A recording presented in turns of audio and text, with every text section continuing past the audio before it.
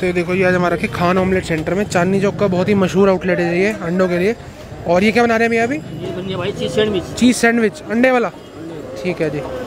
ये देखो जी बहुत ही ज़्यादा फ़ेमस है जी अपनी जगह ये। अच्छे देसी अंडे बनता है? देसी बनता दोनों बनता फार्म में बनता दोनों बनता। ये देसी में बना रहे हो अभी? ये देखो जी देसी अंडे बन रहा है अपना ये स्पेशल ऑमलेट वाह भाई वाह बहुत ही मज़ेदार। मक्खन से बिल्कुल भरपूर। मक्खन बहुत भर भर के डालते हैं अमूल मक्खन यूज़ करते हैं ना? ठीक है जी। ये मसाला कौन सा पीले वाला? ये धनिया पाउडर अच्छा ये धनिया पाउडर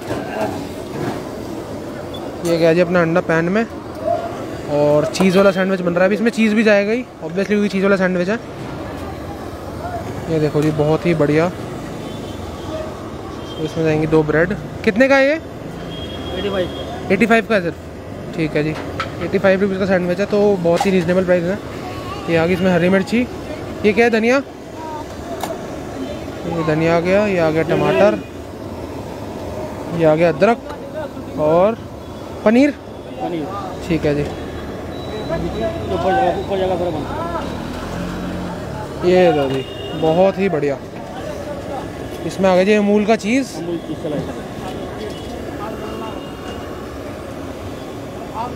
कितने बजे खुल जाती है भैया शॉप पाँच से साढ़े बारह का। पाँच से साढ़े बारह। तो बिल्कुल पाँच बजे आए हैं अभी बिल्कुल ओपनिंग टाइम पे।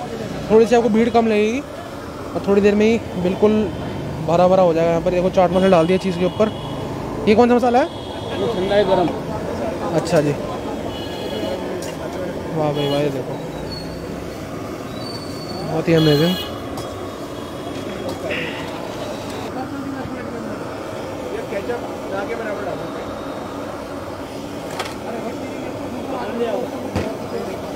ये देखो जी अब अपना नेक्स्ट बन रहा है यहाँ पे, देसी अंडों का हाफ़ फ्राई विथ चीज़ वाला।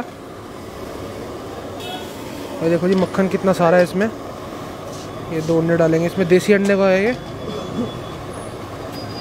और खुशबू अलग ही आ रही है अंडों के साथ। बटर जो मैंने भर के डाल रखा है, वैसे नमक मिर्च आ गया।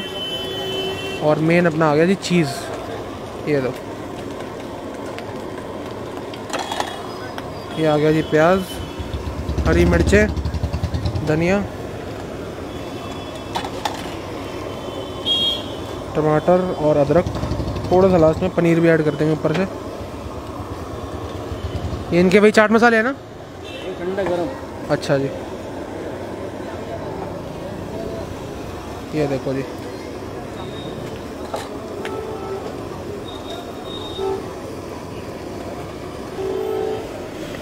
ये हो गया जी अपना स्पेशल देसी अंडे वाला हाफ़ फ्राई तैयार। साथ में ब्रेड भी देते हैं?